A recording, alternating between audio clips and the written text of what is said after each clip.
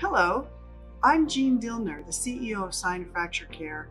Our mission, our vision is to ensure that no matter what country you're born in, what color your skin is, what religion you believe and practice in, or whatever your social status is, that each one of us and each one of the injured poor deserve the same type of orthopedic treatment and results that we receive here in the United States and other developed countries.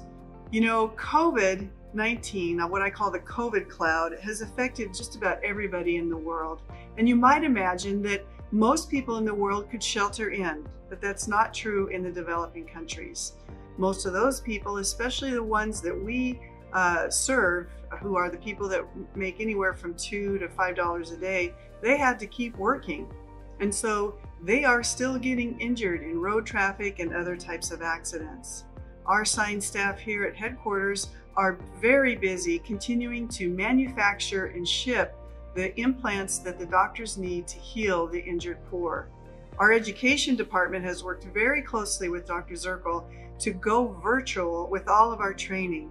We know that for at least another year, we won't be able to go do our training via on-site visits or regional conferences, or especially not even the conference that we hold here every year. So we've been building a lot of educational material and presenting that through webinars.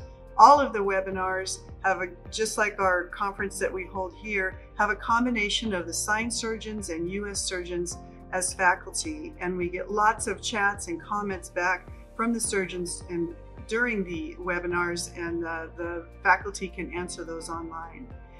We've also Im improved or expanded the hub, which is the Sign Surgeons educational website, to include more topics about orthopedics and also allow the sign surgeons to interface with each other via forums and blogs.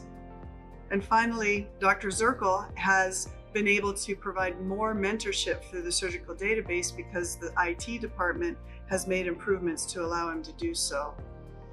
So when you give to sign, you're giving to a patient who needs the care so that he or she can leave the hospital, return home and heal and, return, and then be able to go back to work or to school so that they and their family can remain on the path out of poverty.